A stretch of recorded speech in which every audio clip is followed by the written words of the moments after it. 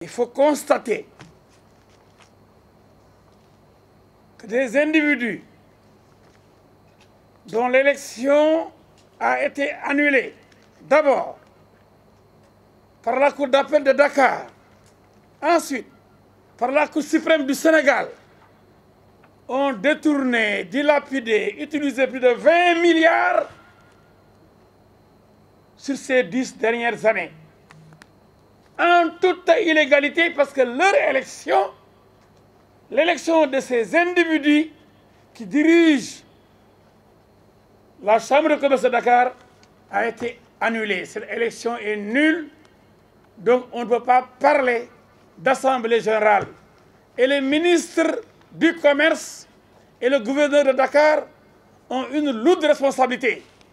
Il leur revenait, après la décision de la justice sénégalaise qui a annulé l'élection de ces individus, de convoquer le corps électoral pour organiser de nouvelles élections pour que, effectivement, les chambres de commerce soient dotées de bureaux et d'organes valables. Il y a donc la complicité du gouvernement par le trichement du ministre du Commerce et par le laxisme du gouverneur de Dakar. C'est ça que nous dénonçons. Les autorités politiques et gouvernementales sont complices de la situation qui prévaut, notamment à la Chambre de commerce de Dakar, qui n'a pas de président. Celui qui est là-bas, qui se dit président, son élection a été annulée par la Cour d'appel d'abord, confirmée par la Cour suprême. Il est président de quoi et pour qui? Mais sommes-nous dans un état de droit? Que quelqu'un se retrouve à la tête d'une institution aussi prestigieuse, aussi importante que la Chambre de commerce de Dakar On ne parle de fonctionnement, de budget de fonctionnement de presque un milliard, 900 et quelques millions qui payent des salaires. Quel salaire? Il faut que le gouvernement revoie sa copie.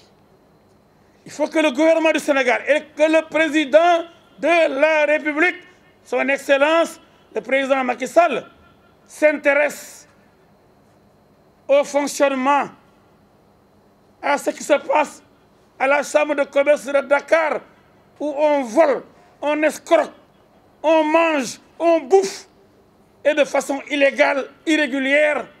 Et ça, le président ne le sait pas peut-être. Il faudrait que le gouvernement prenne ses responsabilités. Ça ne peut plus continuer. Golo de Bey, Baboun de